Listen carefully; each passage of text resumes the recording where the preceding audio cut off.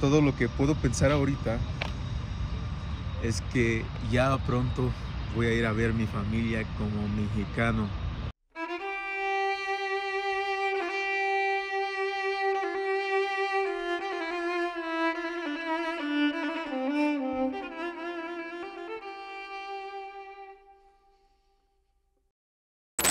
Hola Habibis, Habibis y Habibtis, ¿cómo están?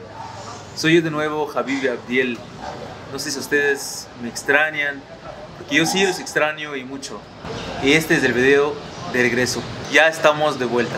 Aunque no estaba ausente totalmente, aún seguía haciendo videos en Facebook y TikTok más seguido. De hecho me sorprendí porque últimamente crecimos mucho en Facebook. Por cierto, denle una checadita, estoy seguro que les va a gustar. Se llama Habib Abdiel, abajo en la descripción les dejo el link. Y a comenzar el video de hoy. Han pasado casi 7 años desde que abandoné mi país y mi familia para irme a México. Nunca pensé que me quedaría todo ese tiempo. Ahora que logré obtener la nacionalidad mexicana, un sueño más se hizo real. Hace más que 9 meses logré pasar el examen de obtener la nacionalidad mexicana. Y el día de hoy por primera vez tengo mi INE mexicano, que es muy bonito.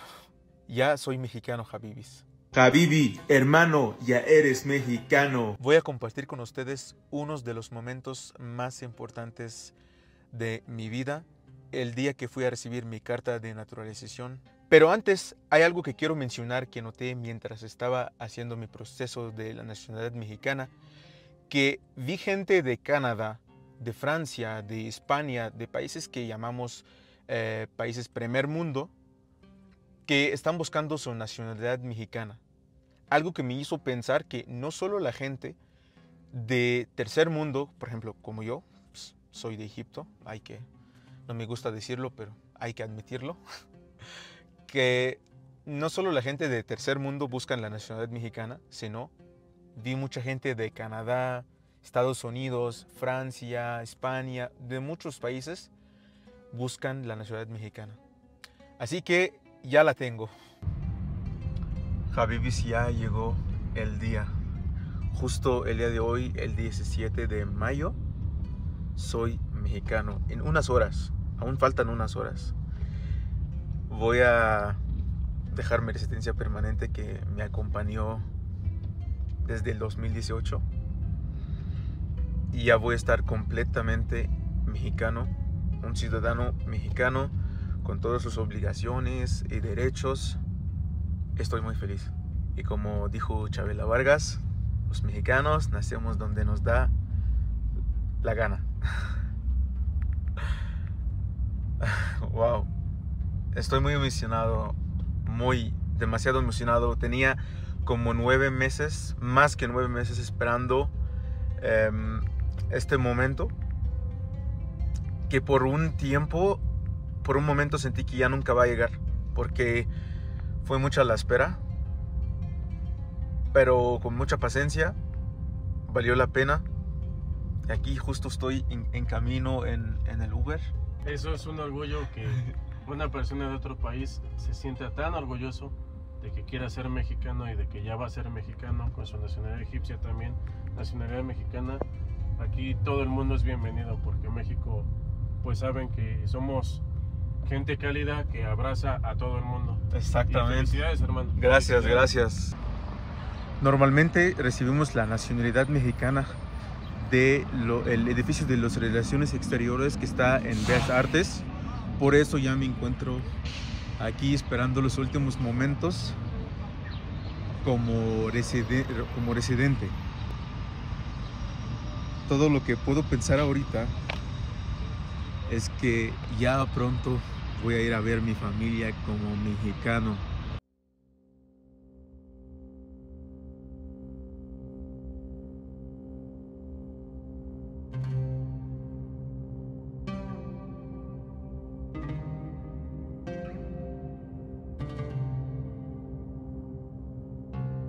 Tenía planeado grabar cómo van a reaccionar mi familia cuando escuchan que ya tengo la nacionalidad mexicana, pero les juro no pude esperar hasta llegar a la casa para grabarlo, para marcarles y decirles. No aguanté. Les marqué, les dije y estaban muy felices, pero mi mamá hasta lloró cuando escuchó la, la noticia y mis hermanas estaban muy felices para mí, mi papá. Así que lo logramos, Javibis. Y por fin llegué a Egipto con mi pasaporte mexicano. Y pedí visa al entrar que me costó 25 dólares. Eh, me da permiso estar en el país como un mes. Y ahora que tengo más que un mes en Egipto con esa visa, literal soy el legal en mi país. Sentí que valió mucho la pena mi lucha. Justo cuando vi mi mamá cuando llegué a la casa.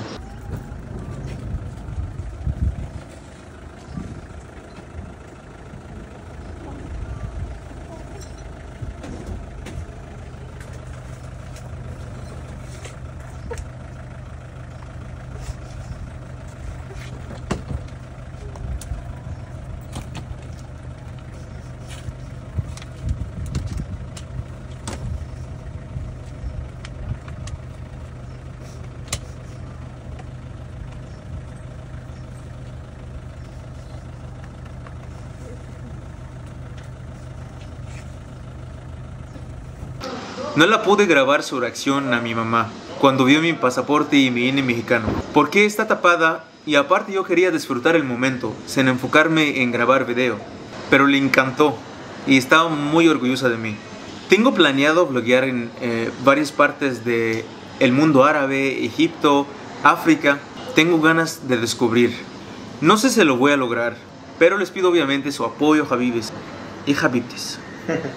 Parte también de lo que haré es recibir la gente que viene a Egipto, a visitar Egipto, para darles tours mucho más barato. Si ustedes pueden llegar en grupos de 4 o 5 personas, aquí les puedo eh, conseguir los mejores precios que van a ver para visitar Egipto. Y tengo la prueba que voy a subir un video con dos queridos amigos que vinieron conmigo, se animaron, son de Azcapotzalco. Saludos a Azcapotzalco. Por cierto, saludos a Escapotzalco. Y a mis amigos notaron mucho la diferencia de precios, notaron que pudieron eh, lograr hacer muchas cosas y llegar a, zonas donde no cualquier extranjero puede llegar. Eso es una ventaja plus. Fuimos a Luxor, Aswan, Cairo, Alejandría. Fueron con mi familia también, que mi mamá les preparó una comida rica. Y fuimos a Siwa, que fue mi parte favorito, que hicimos safari.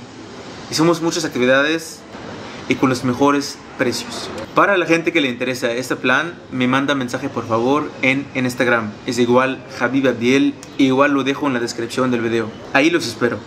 Que Egipto la verdad es un país que vale mucho la pena visitarla al menos una vez en la vida. Pero de preferencia que lleguen con un eh, egipcio o un guía. Porque es un país un poquito complicado para viajar solo. No es de inseguridad, es muy seguro pero complicado de muchas cosas y yo siento que si viajes solo te va a salir mucho más caro a que si viajes con alguien de ahí que conoce y que tengas confianza. Y, obviamente por el tema del árabe y todo eso. Te vas a ahorrar tiempo y dinero y, vas a aprovechar em, de lo máximo tu experiencia. Aparte un consejo para la gente que quiere visitar Egipto, que hagan planes a visitar otro país cerca o en el camino, como Turquía, como Dubai, como Jordania, hay muchas zonas aquí y muchas riquezas que puedes aprovechar tu visita. Que puedes aprovechar eh, estar en el Medio Oriente a lo máximo. La verdad, Javibes, estoy muy emocionado a volver con ustedes. Espero que los planes que tengo en mente que salen bien para que podamos descubrir más sobre esas tierras. Hace mucho tiempo esperaba ese momento, llegar aquí con el pasaporte mexicano, porque de verdad el pasaporte mexicano me abrió las puertas, de la nada. O sea, hace unos meses no podía entrar a muchos países, el día de hoy puedo entrar fácil y salir. Entonces, quiero aprovechar lo máximo de esa ventaja que tengo ahorita. Antes de empezar a visitar otras partes del mundo, la verdad tengo eh, planeado visitar más lugares en Egipto. La verdad en Egipto grabar videos es más fácil para los extranjeros. Pero me pueden decir Habibi, pero eres ya extranjero. Mis rasgos no me dejan en paz. Mis rasgos siempre demuestran que soy egipcio, que soy árabe. Podría salir de Egipto, pero Egipto no puede salir de mí. Nunca he salido así como viajero. Cuando llegué a México, llegué a sin planear tanto y me pasé cosas muy difíciles. Por eso ahorita que estoy pensando bloguear, regreso al pasado y empiezo a pensar otra vez en lo que me ha pasado antes y digo, wow, parece que no me quiero descansar, Javibis. Igual para terminar este video, si alguien sigue en el video hasta ese punto, te quiero mucho. Me dejan en los comentarios cualquier duda que, que, tienen de Egipto, de algo personal, de algo religioso, del que sea, estoy dispuesto a contestar todas sus preguntas. Estamos de vuelta. Y ahora, como saben, Javibis, más salama.